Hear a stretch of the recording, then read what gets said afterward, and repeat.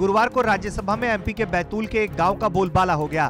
दरअसल राज्यसभा सांसद धर्मेंद्र प्रधान बैतूल के एक गाँव बांचा की तारीफ़ करते हुए दिखे। उन्होंने देश में आधुनिक गाँव के लिए बैतूल के गाँव का उदाहरण दिया।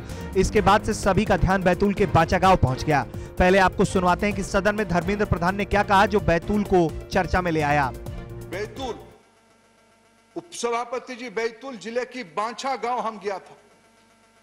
घोड़ा डुंगरी ब्लॉक बैतूल ज़िले में हमको सौभाग्य मिला अनिल उइके नाम के एक गोंड समाज की एक व्यक्ति की घर में उस माता को दर्शन, उसकी पत्नी को दर्शन करने के लिए हमें मौका मिला।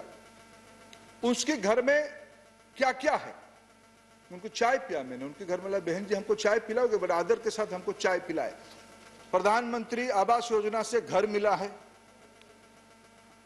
बिजली पहुँची है। एलपीजी कनेक्शन उज्ज्वला योजना में पहुँची है। सोलर लाइट पहुँची है, सोलर कुकर पहुँची है, स्वच्छ भारत में टॉयलेट लगी है, पशुओं के लिए अलग घर बना है अन्नपूर्णा मंडप के नाम पे किचन गार्डन बनी है, पानी उस गाँव में चौहत्तर लोगों की, आदिवासियों की गाँव है, पानी संरक्षण के लिए वाटर सेट सिस्टम लगी है। हैंडपंप पर्याप्त मात्रा है, में है, लेकिन अभी उत्साह भरी है, नल में जल आएगी। स्वरोजगार के लिए पशुपालन, कृषि एसएचजी मूवमेंट और बागवानी। और गाँव भर में कंक्रीट रोड और नाली की व्यवस्था। अभी दूसरा खुशी उस गाँव में इसीलिए है कि स्वच्छ भारत की सर्वे उस गाँव में आई है। यह नए भारत की गाँव हो रही है उप सभापति जी। किसी को क्यों पीड़ा होनी चाहिए? भारत अगर अपने पैर पे खड़ा होगा आत्मनिर्भर होगा। अब आप इन तस्वीरों को देखिए। ये तस्वीरें उसे गाँव की हैं जिस गाँव का ज़िक्र सदन में किया गया। दरअसल बैतूल के एक छोटे से गाँव बाचा में पेट्रोलियम और प्राकृतिक गैस मंत्री धर्मेंद्र प्रधान पहुँचे थे। उन्होंने गाँव की जो आधुनिकता देखी और एक परिवार के घर में पहुंचकर चाय की मांग कर दी। आप भी देखिए। गैस और इलेक्ट्रिक किसमें ज़्यादा सुविधा है। ज़्यादा सुविधा है। इसमें थोड़ा देरी लगता होगा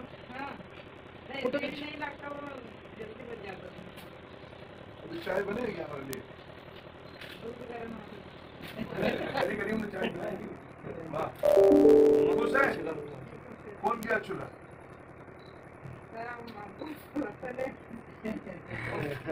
दिया।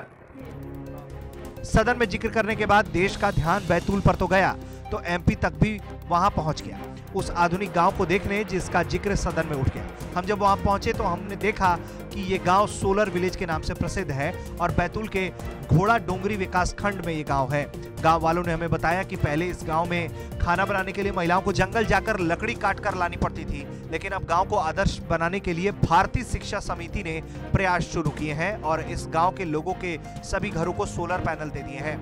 अब सभी घरों में सौर ऊर्जा का पूरा उपयोग किया जाता है। चूल्हे में बनाते थे तो लकड़ी लगती थी, धुआँ होती थी। अब सोलर सोलर पैनल पे अब धुआँ नहीं लगता, लकड़ी भी नहीं लगती। और बर्तन काले नहीं होते।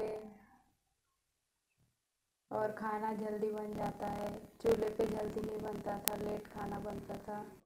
चौहत्तर मकान है और सभी चौहत्तर मकानों में सोलर पैनल लगे हैं और वो सोलर पैनल से सभी लोग खाना बनाते हैं, जो कुक स्टोव लगा हुआ है। इससे फ़ायदा ये हुआ कि महिलाएँ अब जंगल में लकड़ी लेने नहीं जाती। ना ही उनको उस धुएँ से सामना करना पड़ता है और बहुत खुश है वो इस सोलर चूल्हे में खाना बनाते चारों ओर से घिरी हरियाली के बीच बसे इस छोटे से गाँव में कुल चौहत्तर परिवार रहते हैं। पानी की समस्या से जूझते इस गाँव में जल संरक्षण के लिए भी बेहतरीन काम किए गए हैं। उसी के चलते गाँव वालों ने हर घर में सोक फीट बनाए हैं जिसमें घर का पानी घर में ही रहे। हमने जिला पंचायत के सीईओ एम एल त्यागी से बात की। सुनिए आप भी। ग्राम घोड़ा डोंगरी का एक गाँव है। ये गाँव आदिवासी बाहुल गाँव है। यहाँ सी एस आर मद से सभी घरों में सोलर सिस्टम लगाए गए हैं सोलर पैनल्स लगाई गई हैं, जिनके माध्यम से लोग भोजन भी बनाते हैं और घरों के प्रकाश की व्यवस्था भी होती है। हमारी कोशिश रही है कि इस गाँव को एक आदर्श गाँव के रूप में विकसित किया जाए। ग्रामीण विकास विभाग की जितनी भी योजनाएँ हैं, ये कोशिश रही है कि जो पात्र लोग हैं, उन सभी को उसका लाभ मिले और ऐसा हुआ भी है। गाँव में अधोसंरचना विकास का अच्छा कार्य हुआ है, स्वच्छ रहता है आदिवासी भाई बहन हैं वो स्वच्छता के लिए पहले से भी आदि हैं और एक आदर्श गाँव के रूप में उसे विकसित किया जा रहा है। सर ये सोलर पैनल वगैरह और ये सब? वो सी एस आर मद से हैं कंपनी द्वारा लगाए गए हैं कंपनियों का प्रोविज़न रहता है सी एस आर मद में काम करने का। उससे प्रत्येक घर में सोलर पैनल लगाए हैं जिससे सोलर ऊर्जा का उपयोग।